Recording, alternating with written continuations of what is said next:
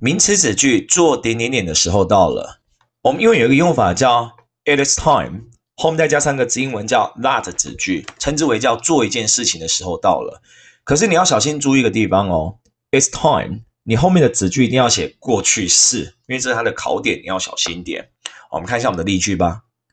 Number one，it is time that you went to bed。你上床的时间到了。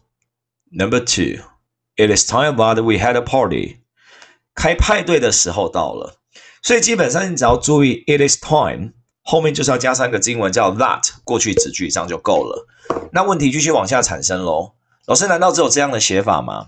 其实我们英文最难是难在在于它有一个叫做改写的方式啦。你除了可以写 that 子句以外，你不要忘记哦，你也可以改写成 it is time for 某人 to 原 v。我再讲一次，你也可以改写成 it is time for 某人 to 原 v。也就代表第一题上床的时候到了，你也可以改写成 it is time for you to go to bed。这是一样的答案呐。那第二题，我们开派对的时候到了，你也可以改写成 it is time for us to have a party。所以基本上，我们大家可以得知到一个理论是这样的：你今天要么就是帮我写一个字英文叫 it is time，后面加 that 的过去子句，不然就给我写 it is time，后面加 for 某人 to 元 v。OK，那没有问题。继续我们往下来看一下其他的延伸部分。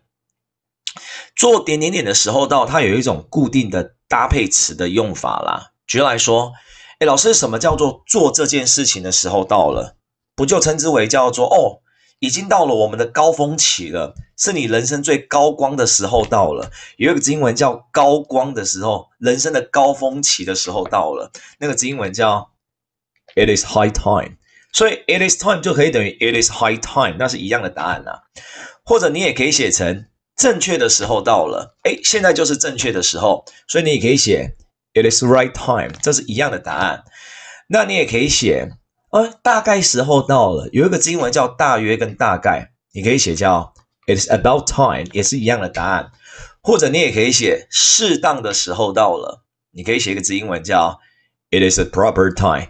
其实基本上以上这四个字都称之为叫 It is time，只不过我们会固定在前面写一个形容词，让句子看起来比较有丰富性一点点。OK。